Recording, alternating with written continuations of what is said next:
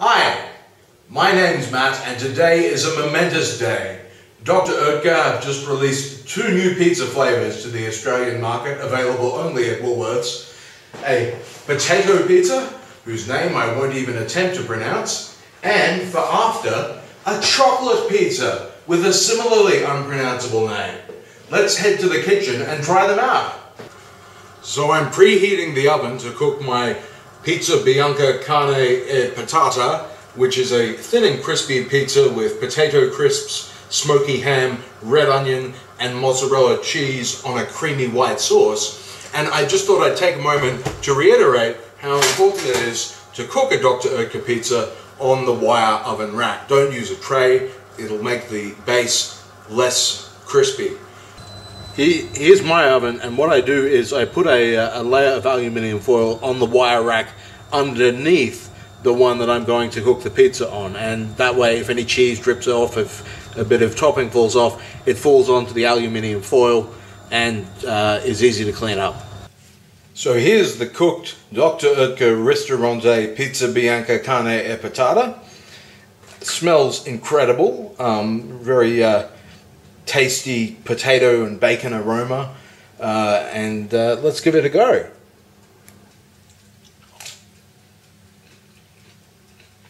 Mmm. It's brilliant. It's like they've it's like they've worked out how to make a potato bake on a pizza. Brilliant. I know a lot of people like to add toppings and modify their Dr. Oetker pizzas and I think this one would be excellent for that because it's, it's quite a neutral flavor, the mozzarella and potato and white sauce. And uh, yeah, really, the sky's the limit. You could put anything you wanted on there and it would taste excellent. Another brilliant pizza from Dr. Oetker. Now I'm cooking that chocolate pizza with the unpronounceable name and just look at it bubbling away in there. Oh my god, so decadent. Ah. And here's the, forgive my pronunciation, Dr. Oetker Ristorante Pizza Dolce al Cioccolato. Uh, it's a thin and crispy dessert pizza with milk chocolate flakes, dark and white chocolate chunks, and a creamy chocolate sauce. And I think the uh, the crust is also uh, chocolate flavored. Let's give it a try. Mmm. Yes, it's not. I, I, just described the ingredients and listed all these chocolates and things that are on. It's not overpoweringly sweet. It's it's very well balanced. Fresh out of the oven, the chocolate melts. It, it just tastes incredible. So the verdict?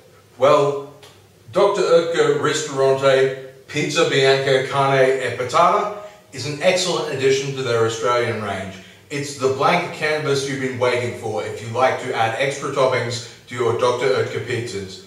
And on the other hand, the Dr. Oetker Ristorante Pizza Dolce al Cioccolato is a good dessert pairing for a savory Dr. Oetker. It's not overwhelmingly sweet. I read the ingredients and it sounded a bit sticky and sugary. It's really, it's really nice. It's got some subtle chocolate flavors and the base is, is uh, really crispy and uh, deliciously chocolatey. I'd encourage you to try it as soon as you can. It's a brilliant pizza. So let's hope that Dr. Oetker continue to bring more of their European product lines to Australia. I predict these two will be a big success.